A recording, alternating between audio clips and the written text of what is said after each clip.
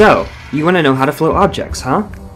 Alright, first, take off your mask and get an object, such as this onion.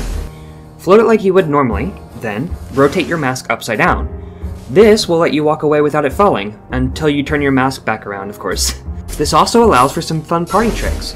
By making use of the weird plate physics that makes them fly out of your hand, we can turn the mask upside down as the plate leaves our hand, making a sort of flying saucer. Enjoy playing around with this.